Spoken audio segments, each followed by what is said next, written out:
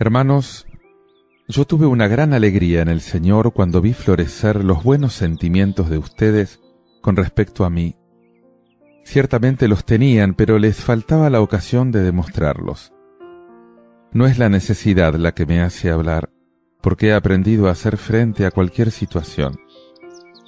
Yo sé vivir tanto en las privaciones como en la abundancia. Estoy hecho absolutamente a todo, a la saciedad como al hambre, a tener de sobra como a no tener nada. Yo lo puedo todo en aquel que me conforta.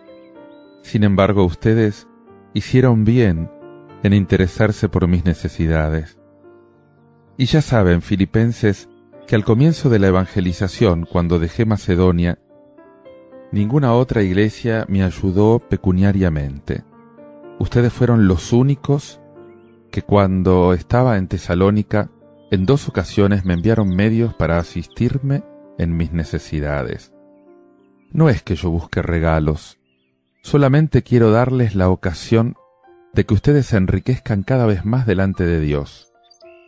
Por el momento tengo todo lo necesario y más todavía. Vivo en la abundancia desde que Epafrodito me entregó la ofrenda de ustedes, como perfume de aroma agradable, como sacrificio aceptable y grato a Dios. Dios colmará con magnificencia todas las necesidades de ustedes conforme a su riqueza en Cristo Jesús.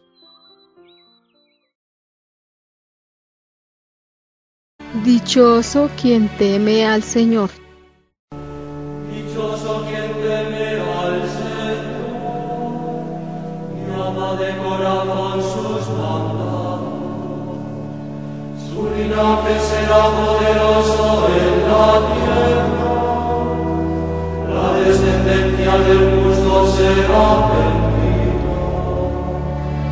Dichoso quien teme al Señor. Dichoso el que se apiada y presta y administra rectamente sus asuntos. El justo jamás vacilará,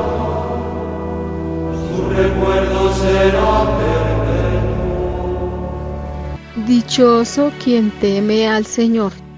Su corazón está seguro sin temor. Reparte limosna a los pobres.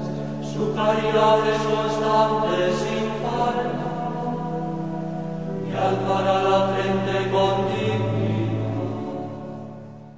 Dichoso quien teme al Señor. Jesús decía a sus discípulos, gánense amigos con el dinero de la injusticia, para que el día en que éste les falte, ellos los reciban en las moradas eternas. El que es fiel en lo poco, también es fiel en lo mucho.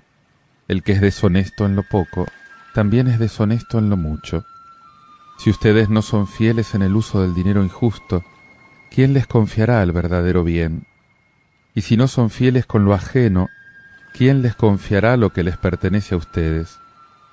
Ningún servidor puede servir a dos señores, porque aborrecerá a uno y amará a otro, o bien se interesará por el primero y menospreciará al segundo. No se puede servir a Dios y al dinero. Los fariseos, que eran amigos del dinero, escuchaban todo esto y se burlaban de Jesús. Él les dijo, Ustedes aparentan rectitud ante los hombres, pero Dios conoce sus corazones, porque lo que es estimable a los ojos de los hombres resulta despreciable para Dios.